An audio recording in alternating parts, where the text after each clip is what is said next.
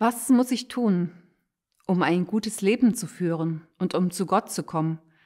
fragte damals jemand.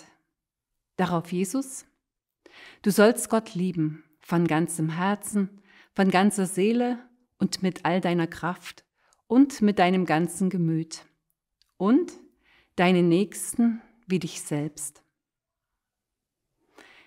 Wie einfach es scheint, ein gutes Leben zu führen, in dem man auch zu Gott kommen kann, nämlich einfach wahrhaftig lieben, Gott, dich und mich selbst.